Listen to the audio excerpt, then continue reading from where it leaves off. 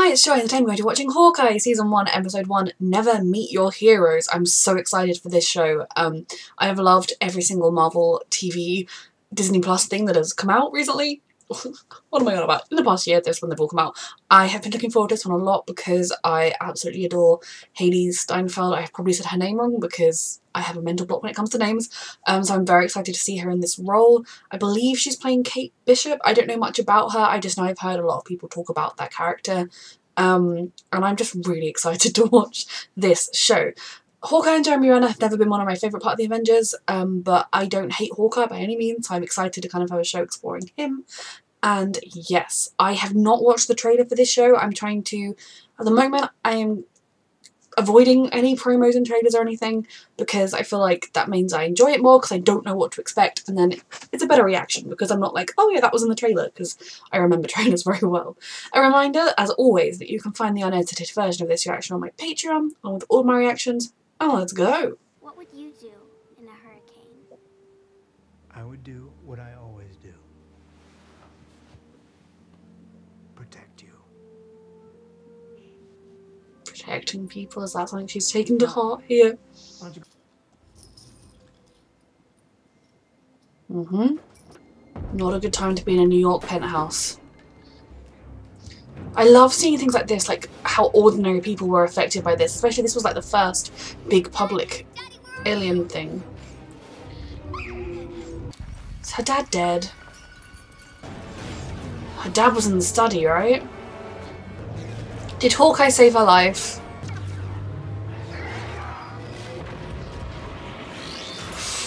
Yes, he did. Never meet your heroes. Oh god, how is that meeting gonna go?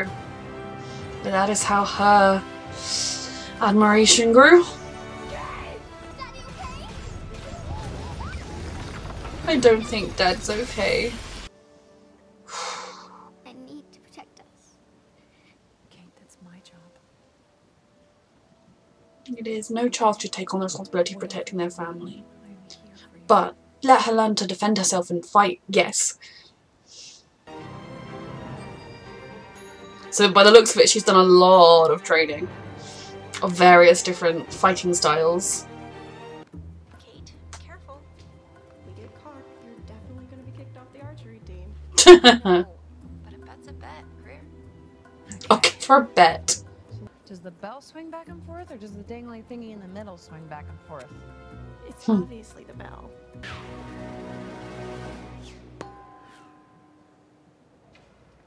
Huh. Let me just fix this. Give me a second. Oh god, don't overdo it.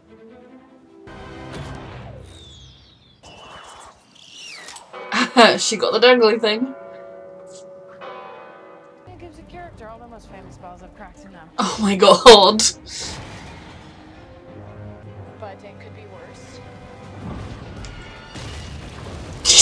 Christ!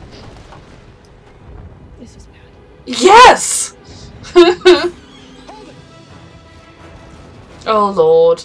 She's expelled, right? what a funny coincidence that that should happen. I had nothing to do with that. Rogers the Musical. I, I need to see that. Right now. Thank you.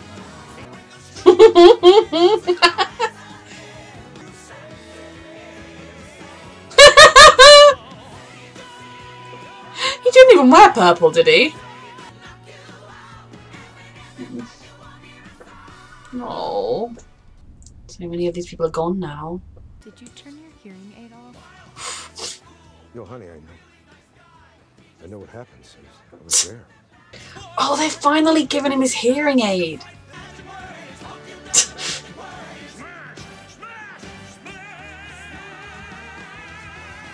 This is this like a high school production? It seems like it. But if they... Oh... Choose your best friend.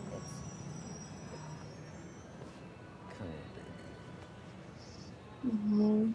It's her Aunt Nat. And like, Steve is, a, is gone. Tony's dead. This is it. I do think Disney Plus needs to release Rogers the Musical because as ridiculous as that seemed, I do want to watch it. As much as I love having for the holidays, I'm not thrilled that I'm about to replace an irreplaceable clock tower. the dean's At least they haven't fully expelled her. What can pays to be rich. Mom? What's with all the swords, Mom? Hun, uh, there have been a few changes. Oh, on your yep. This semester. He lives here now. See you at the party. See you there, honey. Lots more to talk about. Life is changing. The Christmas tree. The biggest one you'll ever see in your life. He's trying to make up for all the lost time he had with his kid. He didn't have when they were blipped, and he was alone. And No, let's go. Say hi. Appreciate it if you wear something a little more ladylike for the wedding, so we won't be competing. oh, What wedding? You don't know. you just, just, just, just- God, he did that on purpose, did he? Like, you just say, oh, um, the next society wedding that we all go to, or whatever. Seems like you won the jackpot. Mm-hmm. So does he. I'm not so sure. It's her mother. Shut up, horrible man. If your mum's happy, it's been a long time. Sorry, I'm sorry you found out this way. You could have told her before you left.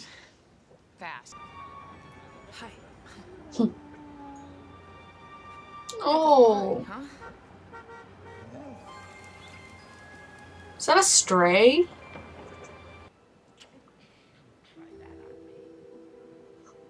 Ooh, are they involved in some kind of shady business?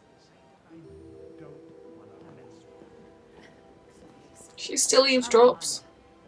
Is that guy threatening you? I honestly, I, I have no idea. Why are you lurking in the hallways? I was outside getting air. So come back to the party. Okay. Don't lie to her. She's an adult now. Right there. All right. She's gonna get herself more involved in mess and like in whatever you're talking about. Find out things, more things the wrong way if you don't just tell her. Kate. Her mom's definitely involved if they're both here, right?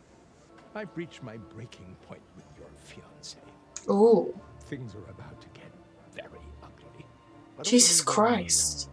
First item of What the is evening, going on here? For $2.7 million. Thank you. She definitely hasn't learned yet this is that things can be dangerous. I mean, you have no idea if these people catch her, it won't matter who she is or how young she is or You know, I, this this is just, I'm, this is not gonna work out. I quit.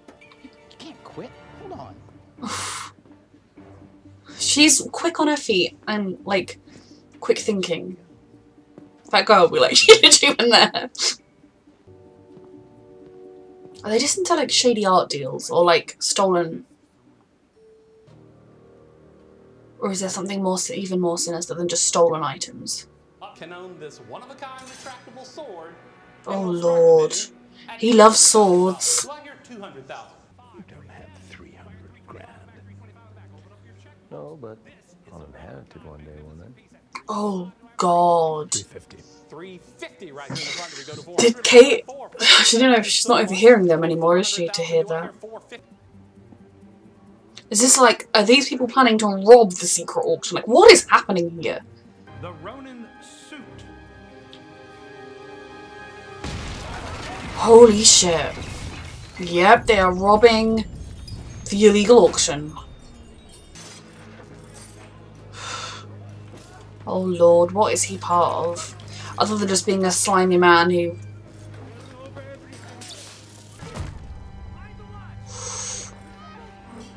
Does she know the real identity of the Ronin? Because she's...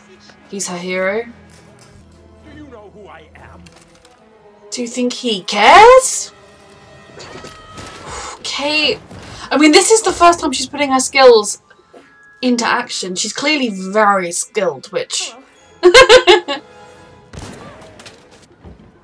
Your daughter is right in the thick of the trouble, of course.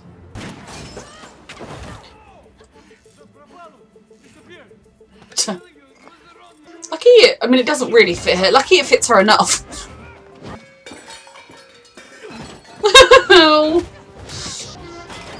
Oop. She's so resourceful, I love it. Oh god. Keep going. She's never had such a prolonged fight for her life, or any fight for her life before. I doubt. Oh. Come on. The watch. I found it. The dog! Good boy! Oh lord.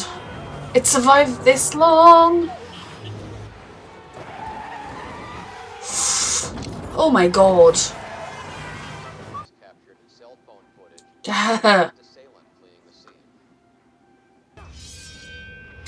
That is something he would like to forget at a very dark time. Even if he was stopping bad guys, he wasn't exactly following a code.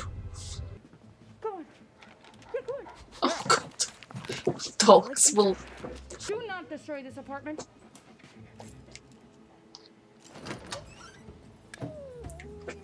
She's highly trained, but very inexperienced in tactics and, like, the realities of what she's trained for. But what are you planning here, sweetheart?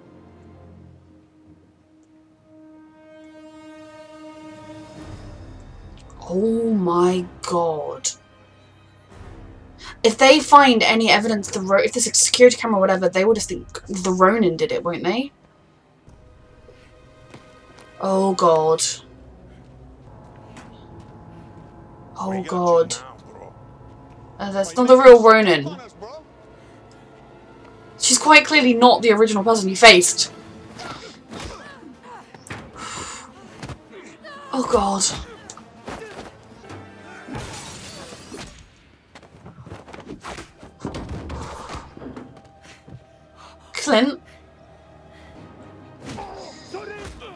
He's more sorry. He's more used to fighting the realities of fighting.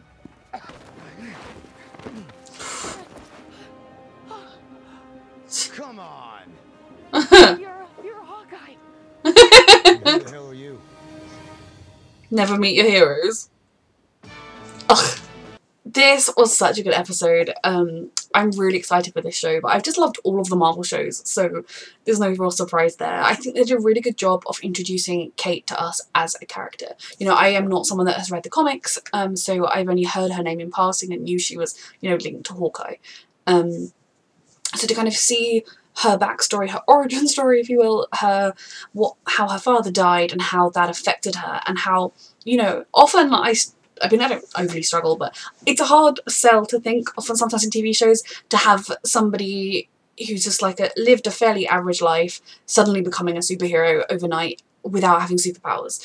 Some of the Arrowverse shows have that, and I kind of think, well, you need more training, and then yes, then you can do it. Whereas Kate, they've just made it so clear that she never wanted to feel that helpless again and I think she wanted to protect people because that's what her dad would do in that situation. So she learned archery, fighting, gymnastics, you know, she is just fully focused and thrown her entire childhood or the rest of her childhood into becoming somebody that is capable of being a superhero. And obviously with that, she still they've also done a good job of showing that she still has the naivety of a early 20s girl who other than the loss of her father, like I'm not saying she's never known hardship, but you know, she's always had money and not have to worry about that side of things. She has a mother that loves her, you know, kind of, she's not, although she's excellent at fighting and I think she has everything, all the components to make a brilliant superhero, she, along with all of us, she has to learn a bit more real world experience of being on the ground fighting. Now maybe if in the next episode they're like, oh no, she's been breaking into houses and fighting criminals for 10 years, I'll be like, okay. Um, but I really liked how they kind of juxtaposed just how skilled she is and how capable she is with how she is still very inexperienced in this kind of situation. Um, and just how much she idolizes Hawkeye. Um, and just again seeing the event the Avengers assemble from the point of view of the ordinary people who just live in their lives I love even if it is tragic that she lost her dad um, so I really really enjoyed Kate's character I'm so excited to get to know her more over the course of the rest of this six episodes, I believe it is, series, and I'd like her to be in the movies. I just like her. Um, and then with the finding out more about her family, obviously she comes, well, her father was very rich. He grew up in that penthouse that she's not grown up, grown up in. And it seems as though her mother has fallen for a man who is using her for access to the money. Um, you know, maybe he was just acting the smarmy guy with his smarmy friend, but that was quite clearly an illicit auction. So hopefully the worst those rich men are up to is just being shady rich men, which is not exactly a shock. And again, for Kate's sake, hopefully her mother didn't know he was going down to the that side of auction, but maybe she did. I don't know. Um, Kate should warn her, or at least see what she knows about it. But maybe she already knows everything. Who knows? Um, that is definitely a shadier side to the Kate's life and Kate's mom's life than Kate would have thought was there beforehand. So I am just excited to see how all that shapes up. Um, I feel like at the moment Kate is going to be going through a very momentous time both in her personal life, what with even if it was a normal happy engagement with her mum moving on from her dad and getting engaged, going to uni, destroying the priceless bell tower. Um, but she's just at this really turning point in both her personal life and becoming a vigilante or a superhero or wherever her story is going to take her, meeting Hawkeye. Um, and then you have Clint, who he's kind of completely on the other side of the spectrum. You know, she's at the beginning of everything. He is at the end of everything. by that I don't mean he's dying, I just mean he's done it for so long. He has lost so many colleagues. You know, Nat was the person that was closest to him and he lost her. But he also, whether he was close to them or not, he lost Tony. He's lost Cap because Steve went back in time and lived a full life. He's not around with his friends. The world is different. He's dealing with the grief of the snap of knowing that he lived five years without his family, that he went to a very dark place in those five years because while, you know, stopping lots of cartels and whatnot is a good mission, just slaughtering them all isn't the right way to do it. And, you know, he was in that very dark mindset of, so my children and my wife died and you get to live? No, thank you. Um, to now going back to just trying to fit in and be the dad and be happy. That is something that's going to be weighing on him and I think he needs to deal with in order to be able to fully believe he has his kids back. But it was beautiful to see him with his family. Um, those children deserve a dad, and I hope nothing terrible happens to him in the show. Um, the Steve Rogers musical was everything. I mean, it did look production value-wise kind of like um, a high school production or like a off-Broadway production rather than like a maybe it was the early days of the musical, but, but I, I want them to release Steve Rogers the musical or whatever it was called because it would be hilarious. Um, especially as they are fictional characters, so I wouldn't have to feel the grief of them being dead because I would know that, yeah, they, they, they're dead. It's fine. No, it's not fine. None of it's fine, and pretty much I'll cry. But just Clint, he's kind of, he's been through hell. He knows the physical and emotional wounds that being a superhero vigilante weighs on you. He knows that you will get close to people and you will see them die. Um, I'm interested to see what he's gonna, how he's gonna react and what he's gonna make of this young girl with a whole life ahead of her following in his footsteps. Because we know we need superheroes. Um, you know, I, given that it's been a few years since they last saw Ronin, then I guess this is taking place in 2021. I don't know, like, timeline-wise, where Peter's story is taking place because I think maybe that's going to still be a little bit in the past from where we are now.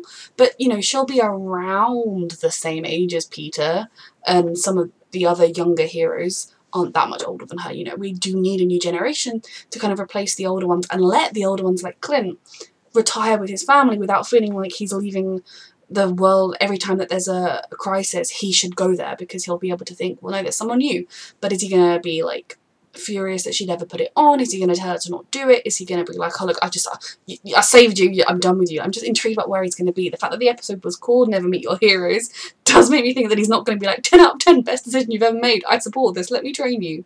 But I do feel like they're going to end up in some shenanigans. So I am excited. I'm excited to know more about the dog. That was an unexpected little moment. Um, but yeah, this was a really, really promising first episode. So a reminder that you can find the unedited version of this reaction on my Patreon, and thank you so much for watching.